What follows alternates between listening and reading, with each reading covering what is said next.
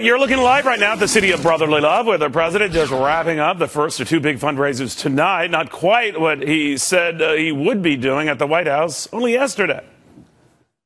You know, they're, they're, they're in one week, they're out one week. And then they're, they're saying Obama's got to step in. You need to be here. I've been here. I've been doing Afghanistan and bin Laden and the Greek crisis.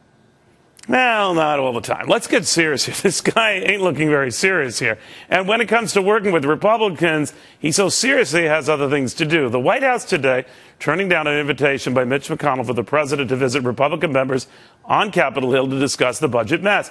Now, White House Press Secretary Jay Carney all but saying such an invite would be a waste of time and that if Republicans only use it to tell the president what they would not support, well, that would not be a conversation worth having. But apparently, raising still more millions for his reelection campaign is worth doing.